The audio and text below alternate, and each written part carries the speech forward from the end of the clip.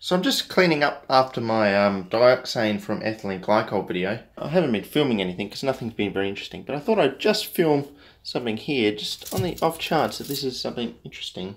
So this isn't the first initial reaction mix, this is the, the second like distillation and we got um, some pure dioxane out and then everything tarred up and spilled over. So I redistilled it and this is the stuff that's left over. And at a higher boiling point than the boiling point of dioxane so there's water and ethylene glycol there's still quite a bit of liquid left. I assume that's just because I distilled over ethylene glycol originally from the original reaction mix.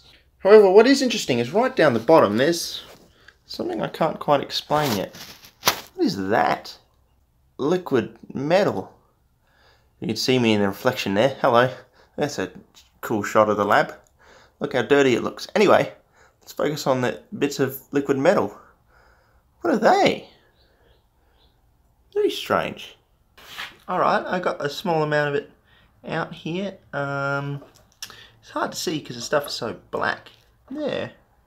I mean, they look like either sodium or mercury, both of which are very obscure to be in there. How on earth did we end up with that in there? Well, I mean, there's a quick test to see if it's sodium. Let's try that one.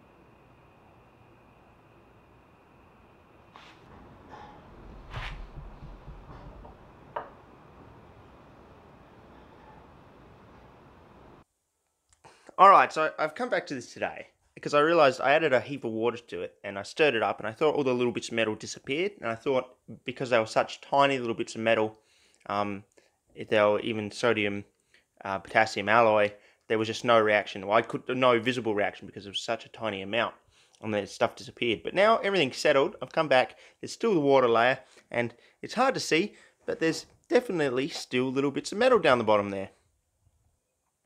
In fact, it might be impossible to see on camera. There's still definitely little bits of metal down there. And I was like, well, that can't possibly be sodium potassium alloy if there's still bits of metal in there. And then I was like, well, what can it be? And I realized, hold on, there is a source of mercury in this.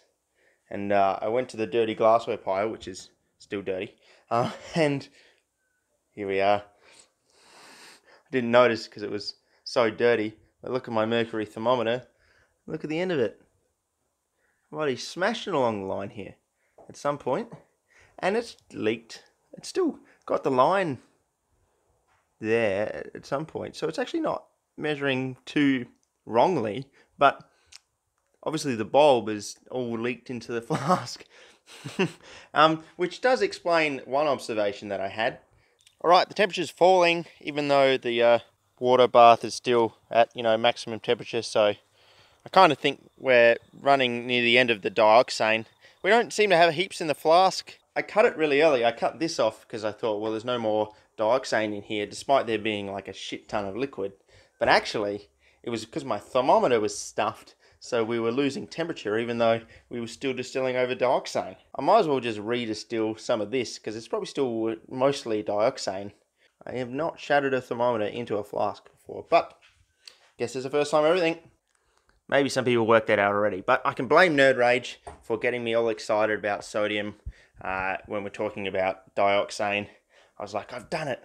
I've done it even better than NurdRage, but no, it's just fucking mercury.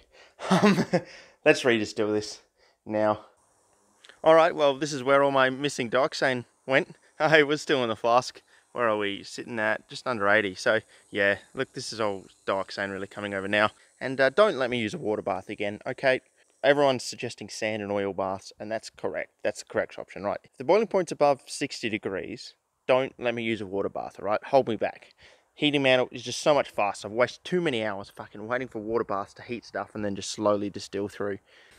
This has been a very short video because I thought it was going to be a lot more interesting than it was. But thanks for watching, and I'll see you on a full video later on. Woo.